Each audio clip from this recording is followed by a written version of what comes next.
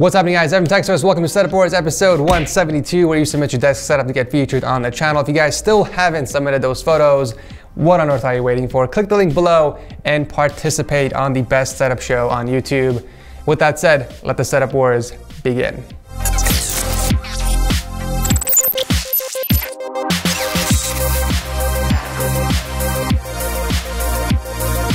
So some of you guys know that I use a .tech domain for my business website, dealsource.tech, where you can find the best tech deals posted from various sources. And I also have edgar.tech, which can direct you straight to my YouTube channel. I got my .tech domain back in 2015 when it first launched, and it was one of the best decisions I've ever made. It just makes sense to have a .tech domain making tech content on YouTube. The domain extension has grown over the last four years. Even brands like Viacom, CES, and Intel have moved to a .tech domain. So if you're a programmer, a developer, or just a tech enthusiast like me, go get yourself a .tech domain for your dream startup, passion project, or your personal portfolio. Visit go.tech slash Edgar or click the link below and use the code EDGAR to get $90 off one and five year registrations. Kicking off the episode is Bryce and his cozy setup from Iowa. So he's a student who also works as an auto detailer and he uses this setup for studying, photo editing, and light gaming. He has a single 27-inch monitor mounted against the desk and a second monitor against the wall off to the side, which I'm guessing he uses to watch videos from his bed. The desk is custom made out of a Lorrell Oak laminate tabletop and some IKEA legs. And on top of that, we got the Corsair K55 RGB keyboard and the main reason why this setup is used for light gaming, the Logitech M310 wireless mouse. He doesn't have any headphones, so instead he uses a soundbar for all the audio. Uh, also a side note, those drawings on the wall are incredible. If you did those, you have some serious talent. But I do recommend putting those in a clear sheet so it doesn't get damaged over time. A fun little fact, when I was in middle school, growing up to even high school, I used to draw a lot. I was a big fan of drawing and I was actually a pretty good artist. And I was a big fan of Dragon Ball Z and a bunch of anime, so I used to draw a bunch of characters at the time. And uh, if I wasn't doing YouTube, I would definitely be an animator at some point. But growing up, we were poor and my mom couldn't afford to send me to drawing school. So here I am doing YouTube. And I always say, everything happens for a reason. Anyways, back to the setup. So Bryce also uses a MacBook Pro for mobility. However, the PC powering the setup is a blacked out custom built rig and it's got the 7700T, 32 gigs of RAM and the EVGA GTX 1060. Super clean work with the cables by the way, and the same for the rest of the setup. We have a Signum holding the wires up and a bunch of Velcro that he used to tie the cables to the legs. A very cozy and productive setup with purpose. Thank you Bryce for entering. Next up is Chev from Canada and his Venom-inspired gaming setup. He's rocking two 27-inch monitors that are mounted on the IKEA Ryggestad desk, which has an interesting design. Actually, I just checked and apparently it's supposed to be like that, but it looks like it's slightly modded so that it can mount against the wall without the legs interfering. Also, this is a much deeper desk than usual, so his monitors are further from his eyes. Obviously, the further away a monitor is, the smaller it appears. So a 27-inch monitor probably looks like a 25-inch monitor from that distance. For peripherals, he's rocking the Logitech G213 keyboard and the G300S mouse, which he drilled a hole for, and his audio gear consists of an RCA soundbar and the Turtle Beach Recon X50 headset, which he keeps in his drawer when he's not using it. Cables can definitely be improved by using a longer raceway like these, which also have a corner cover, and this will do a better job hiding those cables. The PC powering the setup is also Venom inspired with the red lighting and the AIO tubing, which can represent Venom's tongue, I guess, depending on how you look at it. I mean, it's a pretty badass setup, but it does need some cable tweaks to improve. Thank you, Chev, for entering. Speaking of Marvel, at number three, we have a Deadpool-ish inspired setup. Uh, I mean, I guess it's not Deadpool inspired just because he has a few wallpapers and a figurine on the desk. So we'll just call it a black and red setup. Anywhoosies, so my man Danum is rocking an ultra-wide and a 27-inch monitor which he mounted against the desk, and he still has space for his massive gaming PC, which, by the way, looks like the company ripped off of Cougar. I mean, is it me or do these cases look very similar?